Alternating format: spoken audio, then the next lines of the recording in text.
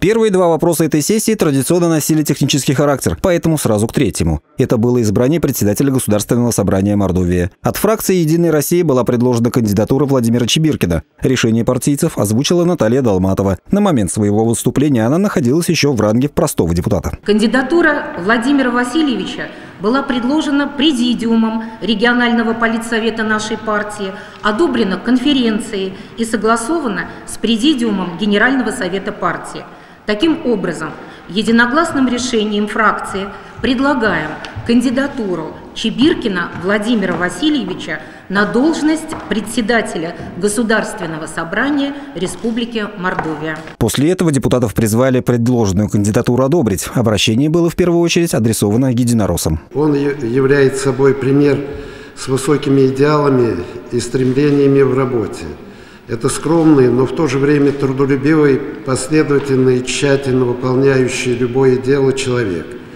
Владимир Васильевич зарекомендовал себя очень ответственным и справедливым.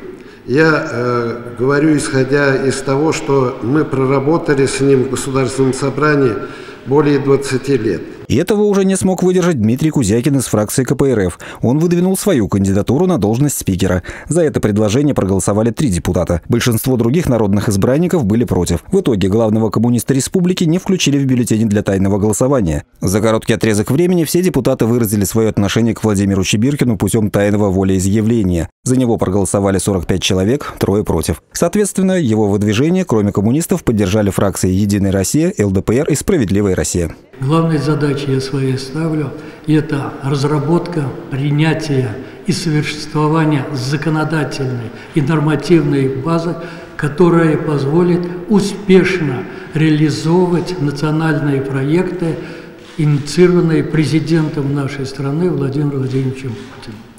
Решать те вопросы, которые будут у нас и были звучать в послании главы республики для развития нашей экономики. Владимир Чебиркин вновь занял привычное для себя место за столом, а к депутатскому корпусу после этого обратился Артем Сдунов. Каждый из вас имеет свое профессиональное рабочее место и отвечаете за людей.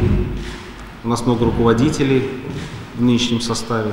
Меня очень радует, что у нас мощный промышленный сектор сейчас появился в Государственном собрании. Это, я думаю, вы примете правильное решение, отразите это в комитетах, потому что это приоритет развития нашей экономики.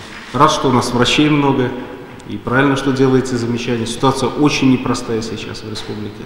Также на первой сессии Госсобрания утвердили кандидатуры заместителей председателя парламента. Ими стали Сергей Вдовин, Наталья Долматова и Евгений Тюрин. И последним сюрпризом этого заседания стало назначение Петра Тултаева сенатором от Мордовии. Я искренне буду стремиться быть полезным республике и, конечно же, городу Саранске в решении проблем текущего характера и задач э, перспективного характера. Работать буду на совесть, от земли, от Республики Мордовия не отрываться. Спасибо, прям. Евгений Волков, Игорь Гангаев. Наши новости.